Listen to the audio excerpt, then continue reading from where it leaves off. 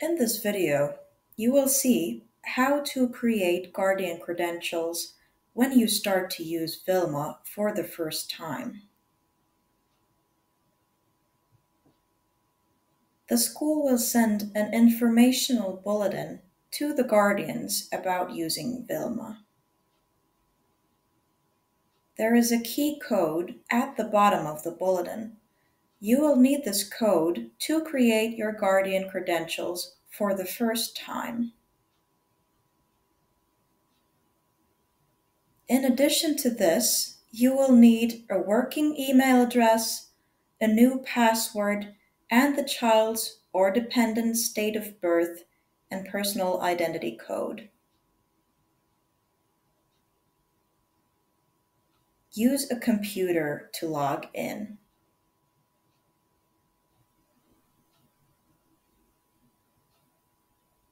Type the address helsinki.inschool.fi hash connect in your web browser's address field.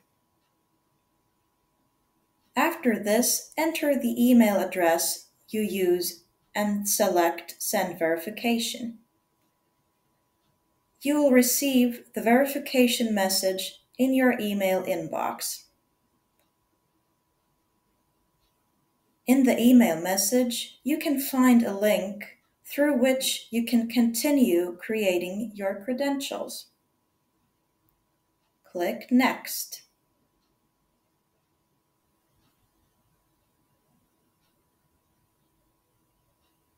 If you have received a key code, please choose to use the code.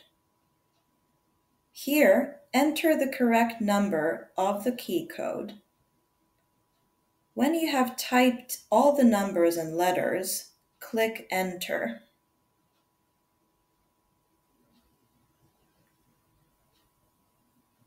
You have now added the key code. After this, select Next. Add your child's or dependent's date of birth here. After this, select Next. Next, fill in your information in these fields.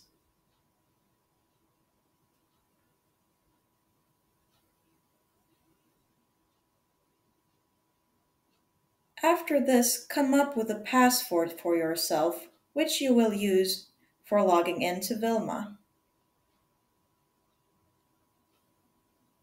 Please note that the password must consist of at least eight characters.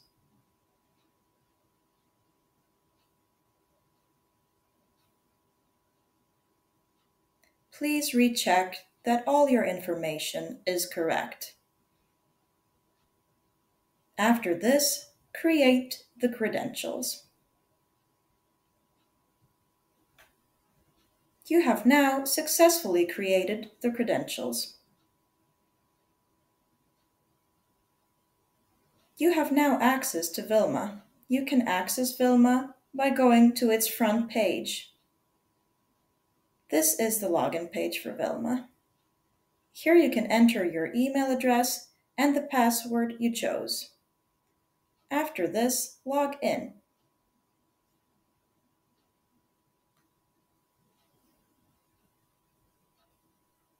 You have now successfully logged into Wilma for the very first time.